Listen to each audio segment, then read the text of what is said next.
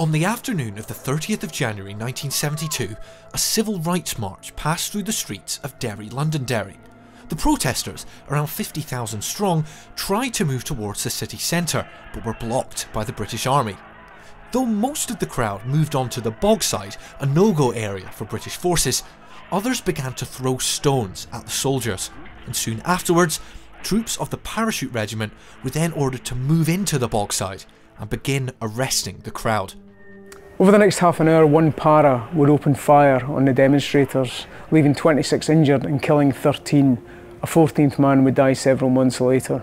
This Humber pig here, IWM London, was on strength with one para at the time of Bloody Sunday. Now we don't actually know if it was actually there on the day, but it certainly was one of their vehicles.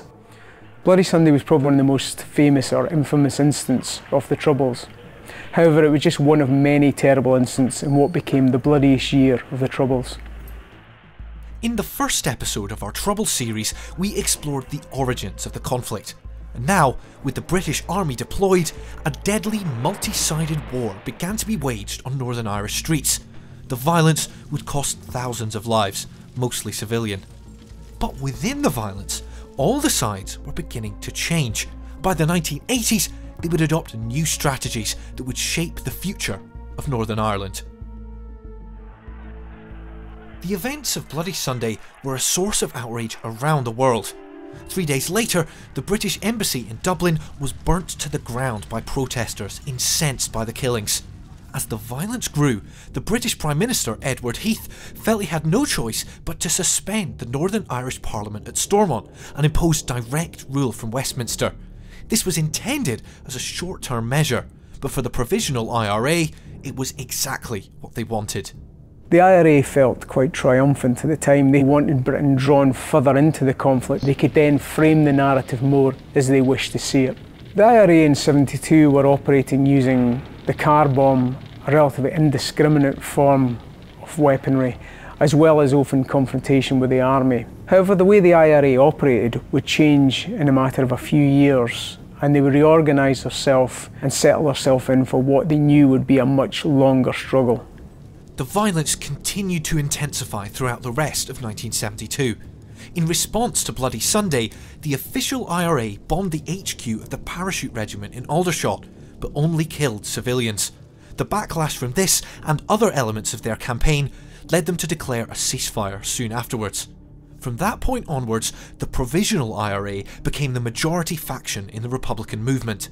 In July, they enacted their own reprisal for Bloody Sunday, detonating 22 bombs across Belfast in what became known as Bloody Friday.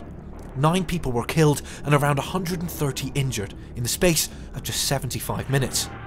In response, the British Army began Operation Motorman, their biggest operation since Suez, over 30,000 troops, assisted by tanks, went into clear no-go areas controlled by Republican paramilitaries.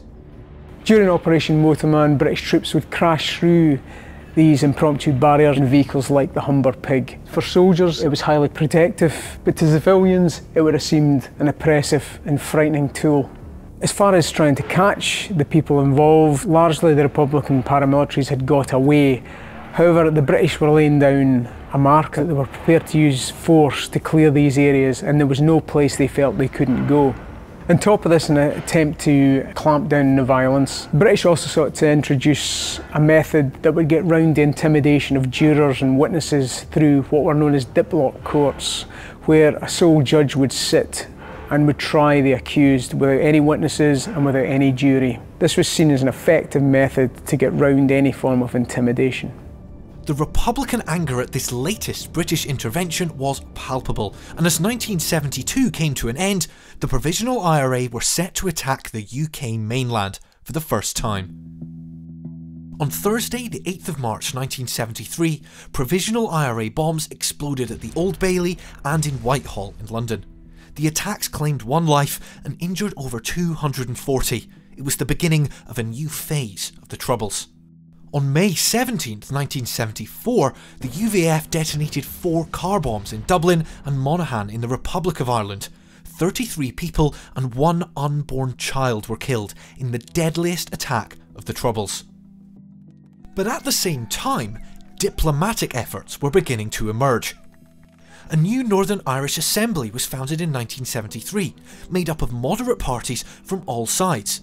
They approved the Sunningdale Agreement, a power sharing executive with involvement from the Republic of Ireland. At the time, it truly seemed like the beginnings of peace in the conflict, but it was not to be. In May, the Ulster Workers' Council called a general strike and forced the loyalist leader of the executive to resign, and soon afterwards, the agreement collapsed. The pattern of violence had been set, and extremists on both sides now held enough sway to derail any peace attempt. For the British government, the failure of Sunningdale left some in doubt over Britain's future in Northern Ireland, but peace attempts continued nonetheless. Backnor negotiations had begun in 1972, but towards the end of 1974 they began to bear fruit. The ban on the IRA's political wing, Sinn Féin, was lifted, and plans for a ceasefire were agreed. In September 1975, the Provisional IRA declared an indefinite truce.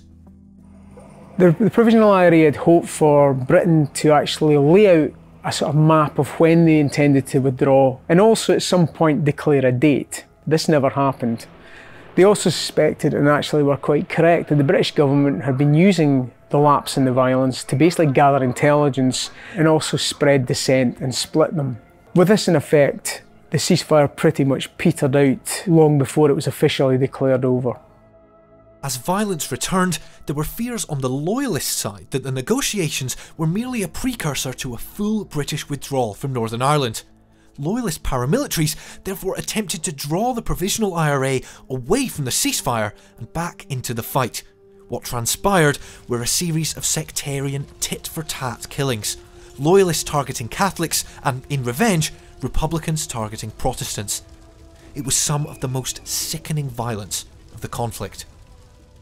This is a Sterling submachine gun. It's a British Army issue that had uh, been around since the end of the Second World War period. It was sold to armies all around the world and was a reliable weapon.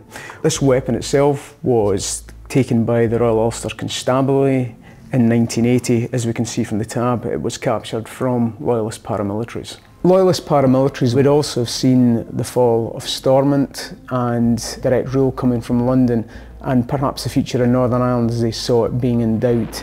In this period of the early 1970s, both Loyalist and Republican paramilitaries engaged in bloody tit-for-tat struggles, revenge attacks, in which very often civilians were caught up in the middle of. By 1976, the ceasefire had broken down completely, political peace had failed, and back-channel negotiations had led to nothing. Now, all sides settled into new strategies which, in the coming years, would change the shape of the conflict. After the failed ceasefire, the provisional movement came under new leadership from younger members like Gerry Adams and Martin McGuinness. To them, it was clear that the British would not be leaving Northern Ireland anytime soon, and so they set out a new strategy for what they called a long war. Receiving new arms and supplies from Libya and the USA, they planned a war of attrition against the British Army, centralising command and using smaller cells known as active service units.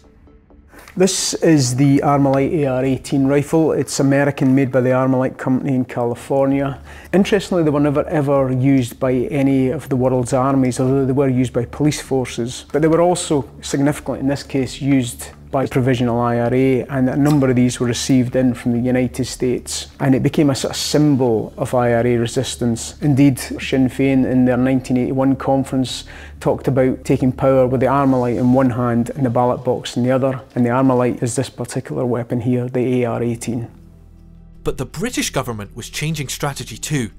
Having failed to end the violence for coming up for a decade, they now aim to limit the conflict and its effects to Northern Ireland, launching a three-part strategy named Ulsterisation, Criminalisation and Normalisation.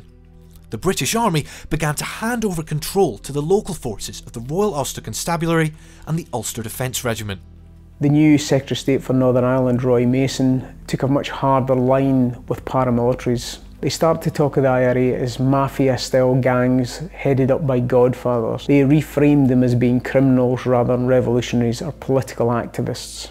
One of the biggest changes they made was the end of special category status for prisoners convicted of terrorist offences after the 1st of March 1976.